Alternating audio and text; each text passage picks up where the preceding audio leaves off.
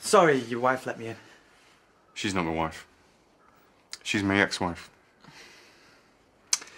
I assume it's Mia you're after. Mia! Oh, hi. You all right? What's that for? To put on your head and take you out for dinner. Are you? I thought I said I'd let you know. Yeah, well, I sort of decided for you. Feeling cocky, are you? Have a good time. See ya. Be careful. Smart kid. Is he? They say his last girlfriend had millions in the bank, and now he's working his charms on Mia. Not bad for someone who shovels muck for a living.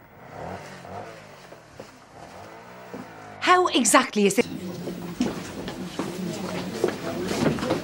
Leave him alone. Don't be a spoil sport.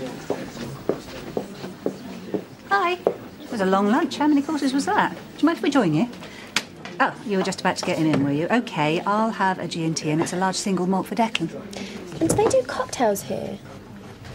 And we're just teasing. Come on, sit yourself down. Tell us what you want. I'll have a white wine and he'll have an orange juice, please. Cheers. Unless, of course, you want to get them in, and I'll stay and quiz him about his intentions.